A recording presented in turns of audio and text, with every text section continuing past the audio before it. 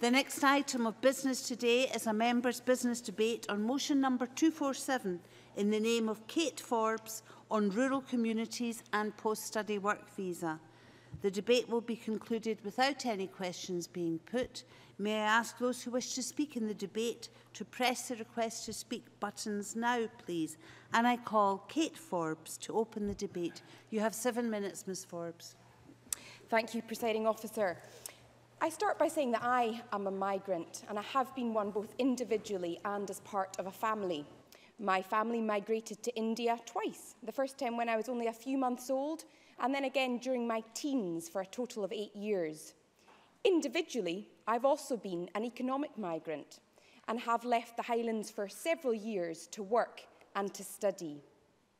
And at a time when We're battling over the meaning of migration, a battle so fraught that I'm fearful it's shaping our constitutional future, at a time when migration is a word that has the dual power to break hearts as bodies are washed up on Mediterranean beaches, and then harden hearts as faceless numbers are reported in the press.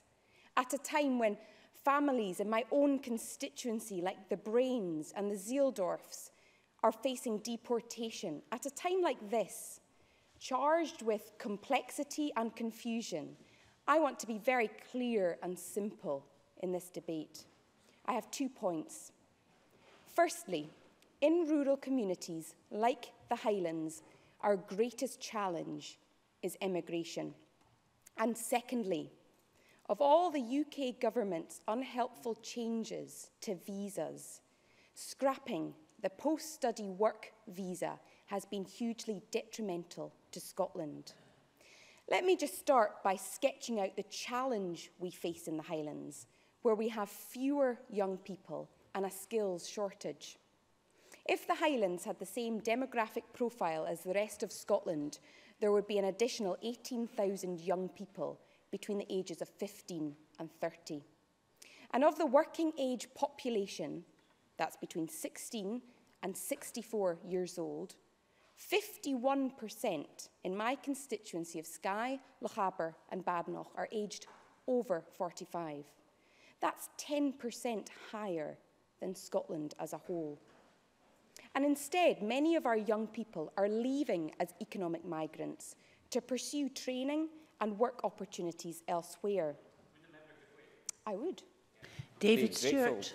I'm very grateful for Kate Forbes giving way. I think she's made some excellent points. We should share my view that it's really important that the University of Highlands and Islands is able to recruit not just young people, but also international students from across the world. Kate couldn't, Forbes. I couldn't agree more, and I will come on to that in a minute. Employment figures are deceptive in the Highlands because unemployment is lower than for Scotland as a whole. The employment rate for my constituency is 83%, whereas in Scotland as a whole, it sits at 73%. That's impressive, but it's driven by a much higher dependence on part-time work. The skills shortage in the Highlands is acute, but it is also a challenge across Scotland. And according to the UK Commission for Employment and Skills, there's been a steep rise in job vacancies in Scotland since 2013, going from 54,000 in 2013 to 74,000 in 2015, and 34% of those are due to the lack of necessary skills in Scotland. And I don't need to spell out that skills shortages also have an impact on business productivity and growth. So why does the post-study work visa fit in here? Well, this is to make the case for the reintroduction of it as a way to meet the skills shortage demand. This is costing us. In Scotland, I believe that we are unanimously agreed on the need to reintroduce a new post-study work visa. All Scottish political parties, our colleges, our universities, our businesses, and even the Scottish Affairs Committee at Westminster are agreed that we need talented international graduates. University Scotland conservatively estimate that Scotland has lost about 254 million of revenue since 2012 as a direct result of the closure of the Tier 1 post-study work visa for international graduates. But if the skills shortage and the population pressures are more acute in the Highlands, then so also is the need to reintroduce a new post-study work visa. Last week, for example, I had dinner with a fine family from India who have bought a wealth brought a wealth of medical knowledge and experience to NHS Highland and whose son got five higher A's. We need them. A close friend in the Highlands is working as a dentist at a time we're in, when we're in short supply of dentists, but her husband still needs a visa to join her. We need them. Many of you will have seen the Brain family in the news, a family who have the skills we need, whose son is in the Gaelic primary, and who came to Scotland expecting to be able to stay on after studying on the post-study work visa. We need them. The Zieldorfs run the village store in Lagan, a very small community, and the family have been denied leave to stay by the UK government. We need them. We need all the international students who no longer apply to the University of the Highlands and Islands because there is no post-study work visa and it's easier for them to go to our competitors in Canada, the US and Germany. I just don't get it. I don't get why we're kicking out families when we need them in the rural areas of Scotland. Taking up the member's point on the University of Highlands and Islands, in 2012-2013, there were 26 full-time undergraduates from Nepal in the University of Highlands and Islands. This year it's seven. In 2013-14, there were 61 full-time undergraduates from India. This year, it's 12.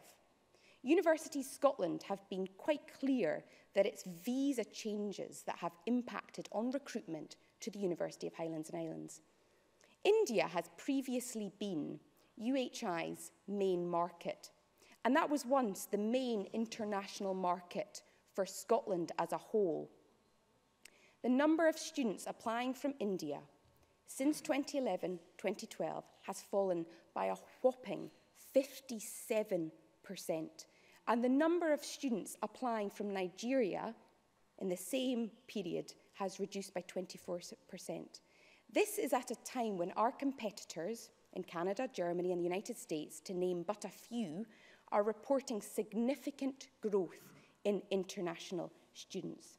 So in conclusion, our current visa arrangements are restrictive and off-putting, and all of us are the poorer for it.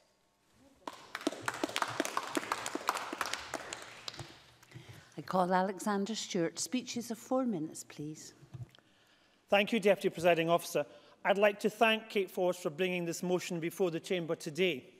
This is clearly a very important issue, and Ms Forbes has already indicated the background to the Brain family who are in part of her constituency. Uh, and it, they have had quite a, a high media profile uh, surrounding this, uh, and the current lack of post-study uh, visas in Scotland is, as I say, a very important issue that she raises.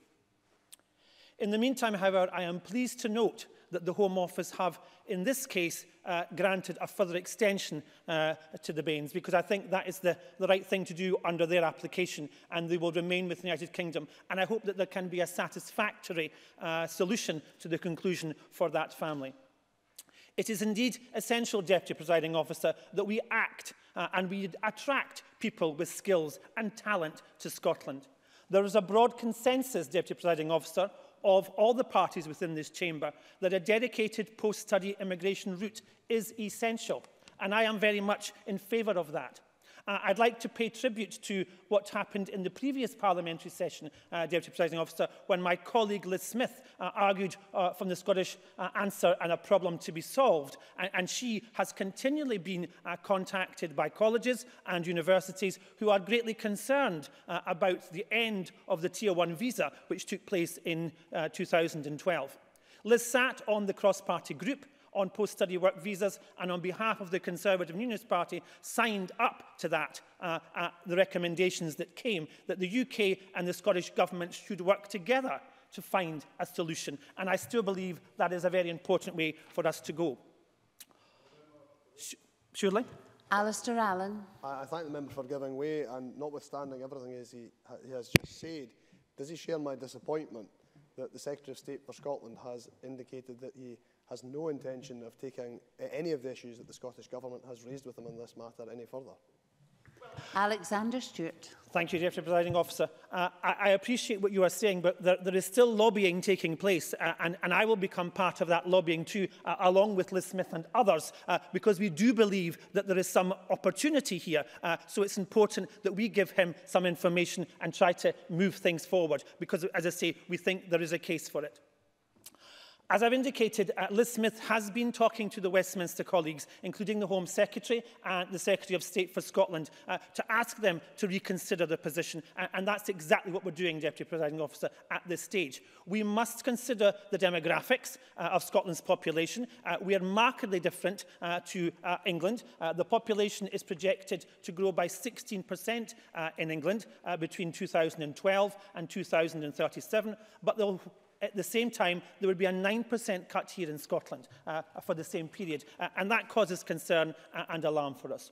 Moreover, uh, the population of our working age population is forecast uh, to fall by 4% during that same time. So there will be gaps, uh, and these gaps need to be fun, need to be filled. No question about that. As Ms Forbes highlights uh, in her motion, mm. this affects demographic issues, and particularly strongly in the rural community which she represents. It's very important that we also consider the issues when it comes to business and industry and what they're looking for and what they're trying to achieve. Talented individuals, uh, Deputy Presiding Officers from overseas, have the opportunity to come to Scotland uh, and they are aware and they, and they challenge and they have the opportunities to do that. And we must make sure that these cultural uh, transformers and business are there to do the best they can and fill the opportunities that we have here in Scotland. We are looking at all aspects. Our universities are leading the way in the cutting edge about what they can achieve. Many of the projects they're bringing forward are pioneering, and we must ensure that that takes place. In conclusion, presiding officer, we need to make decisions for the future of postgrad study visas, and it's very important that we look at all the facts. I hope that we can, within this chamber uh, and the members across the chamber, work together within a cooperation of both the UK and the Scottish governments, seek a solution to the issue that is right for Scotland, that is right for the economy and right for our communities. Thank you very much indeed. I now call on David Stewart. Mm -hmm. uh, thank you, Presiding Officer, and Could I start by congratulating my fellow Highlander, uh, Kate Forbes, and her success in securing this afternoon's debate, and also her work in raising the constituency case of the Brain family. And I was very happy to add my name to the cross-party support for the Brain family to remain living and working in Scotland. I'd like to touch on the wider issues raised in the post-study work visa issue and touch on the specifics of the Brain case. As Universities uh, Scotland have said in their very helpful brief for today's debate, there's significant and respected evidence to back the economic, social and cultural benefits that Scotland would gain if the post-study work visa was to be reintroduced. But don't just take my word for it. Ask key universities, as has been pointed out by Kate Forbes already, ask Glasgow and ask Edinburgh, and the new kid on the block, UHI, Um, ask the college sector, ask the student unions. But let me give you an example. Uh, a number of uh, years ago, uh, I visited Taiwan as part of the cross-party group in Taiwan. I met the British Council and I met universities. They made it very clear that in Taiwan, there's a very strong uh, background of students from schools going to universities and then studying abroad. They also then stayed on in the international destinations to work. Since the changes in the visa, the Taiwanese students coming to the UK has collapsed, which is extremely worrying. But our loss has been the gain, as other speakers have identified, in New Zealand, in Canada, Australia and America. And University Scotland argue that there's a direct correlation between change in policy and student numbers falling off the cliff. If you look at Indian students, they're down 60%. Pakistani students down 46% and Nigerian students down 22%. And whilst demand is still relatively strong from China, the majority of universities in Scotland are not meeting their international recruitment targets.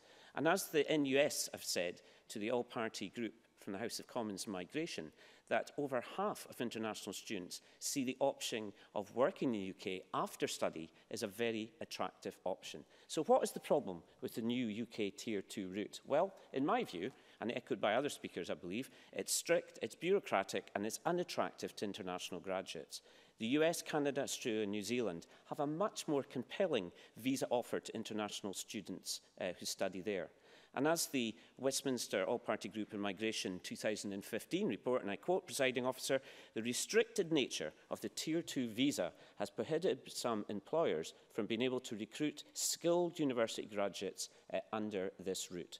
So we know in Scotland we have a great higher education product for international students. We exceed the uh, global um, benchmark for in, in international student satisfaction.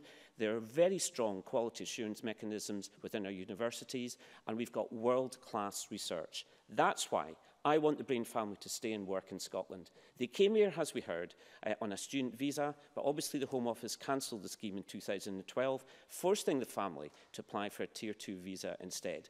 And as Mr. Brain said to the national newspaper, and I quote, uh, we are ready and able to contribute to the economy of the UK. The restrictions being imposed on us aren't coming from Brussels, they're coming directly from Westminster. For generations, presiding officer, Scots have left the nation of their birth to seek a new life in America, Canada and Australia and beyond. They have enriched universities, industry and the political process. All we ask is that the Brain family be given their chance to enrich their adopted country, and I ask the government to think again on the restrictive and anti-competitive Tier 2 policy. I now call the last of the open speeches, and that's Stuart Stevenson. Mr Stevenson. Uh, thank you very much, uh, Presiding Officer, and let me add my congratulations to the, that of others to Kate Forbes in obtaining time for this debate. And, and let me also thank uh, uh, my work placement student for the week, uh, Daisy Collins, who has done the research and written the notes, which I will use uh, during my uh, contribution. Uh, Scotland uh, has been greatly enhanced by the diversity that comes with immigration, uh, those from different nations who freely come uh, Uh, to build their lives here in Scotland. And it's hard to imagine any area of human activity that hasn't benefited from that input economically, politically, socially and culturally, in our classrooms, in our surgeries elsewhere, across our towns and rural villages, and in particular in remote areas of Scotland. The endeavours of different peoples from different backgrounds are evident to us all and continue to be overwhelmingly uh, positive. But the current rules that we've all been talking about imposed by Westminster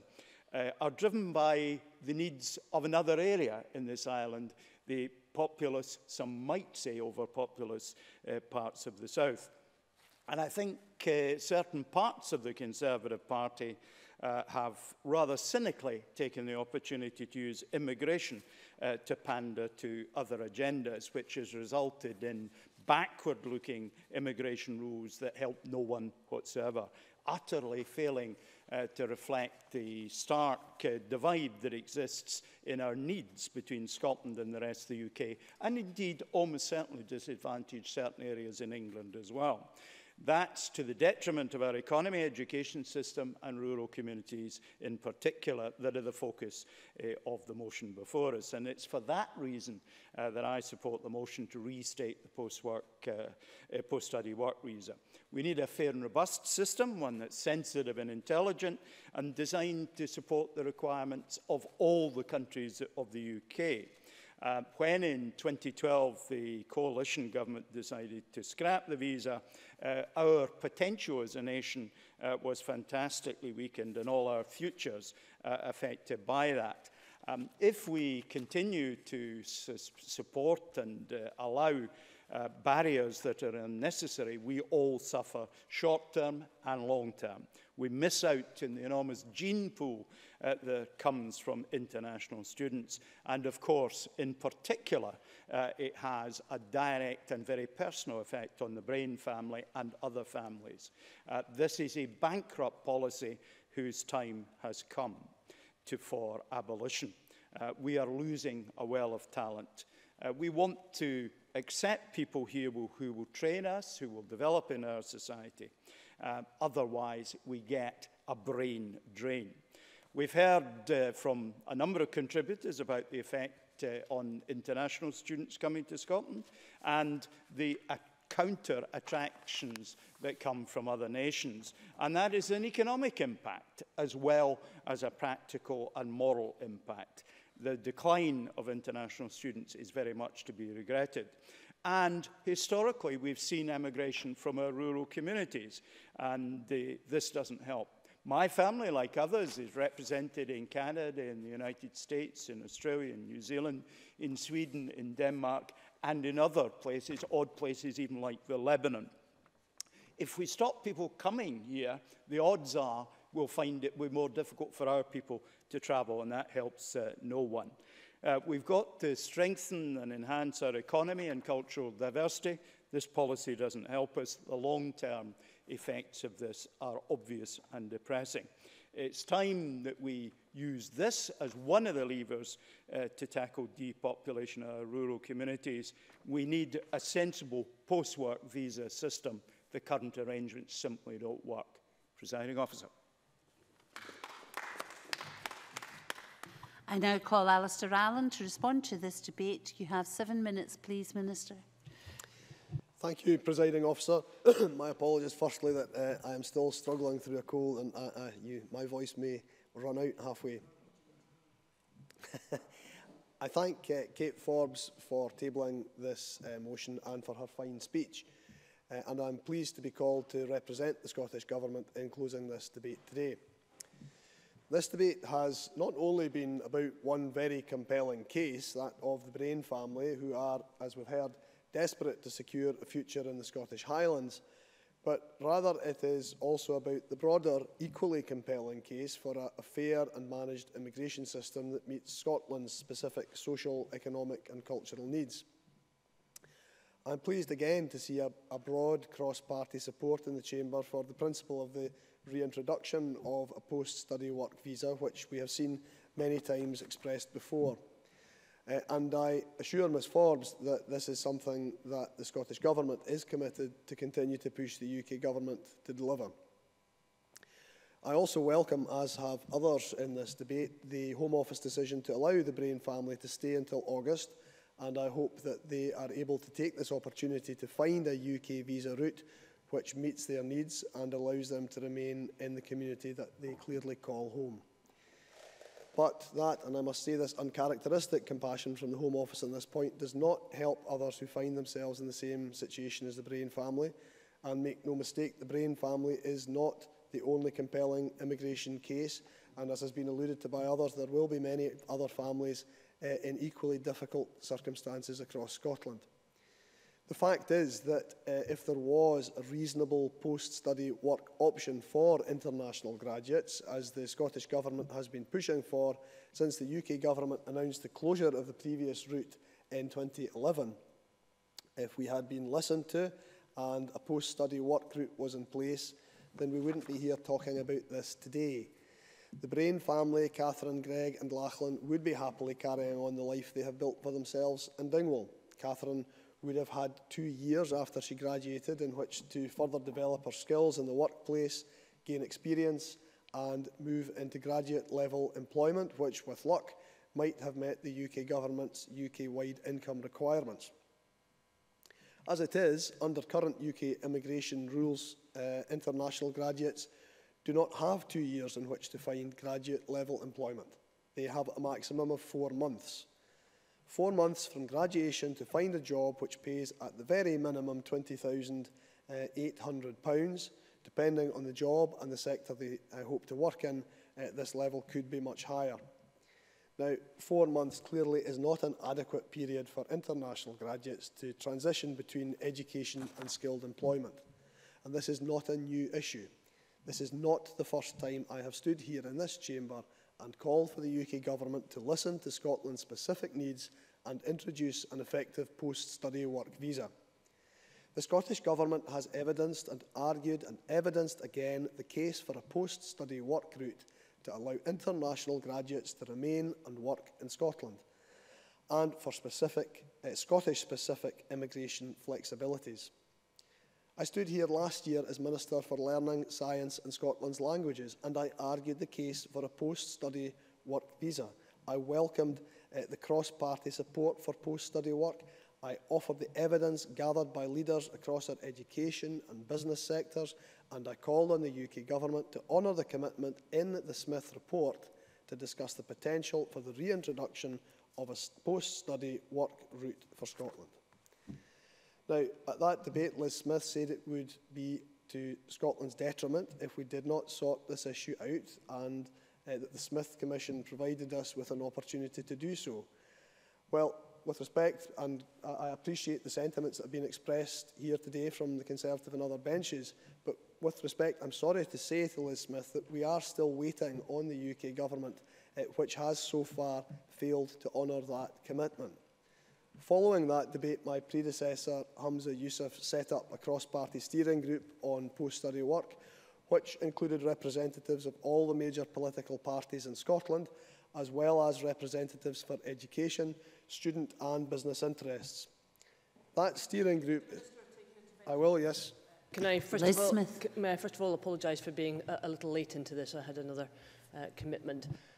Um, Minister, uh, the uh, situation is as follows, that the Secretary of State for Scotland has, has until July the 23rd to reply uh, to the Westminster, the Scottish Affairs Committee report.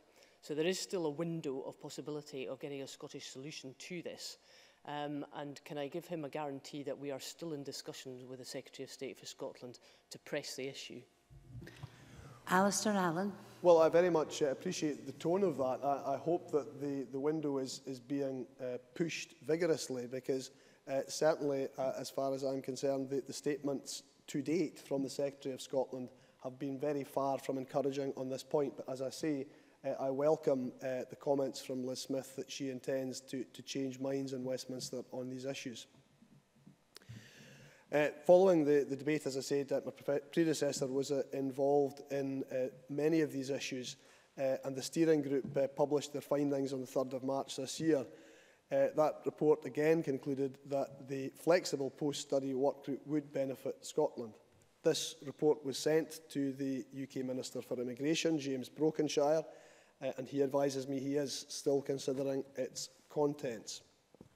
So if I can conclude, presiding officer, I want to say again uh, that the Brain family uh, are clearly not the only family to be unfairly caught out by the UK government's increasingly restrictive immigration rules.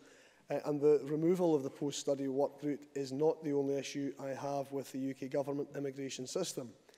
I offer my sympathy to all of those who wish to live in Scotland and contribute to our economy, culture and society but who have been stymied by the UK government's increasingly restrictive rules. And I call again on the UK government to honour the recommendation in the Smith report to discuss with the Scottish Government the possibility of a post-study work route. I have already written to Mr Brokenshire asking for a meeting to discuss this issue and await his response. I again conclude by thanking Ms Forbes for tabling this debate and I hope uh, that uh, next year we are here again but discussing the success of the new post-study work group, we have one for Scotland. Uh, and I would also like to wish the Brain family every success with their own visa application. I now suspend this meeting until half past two.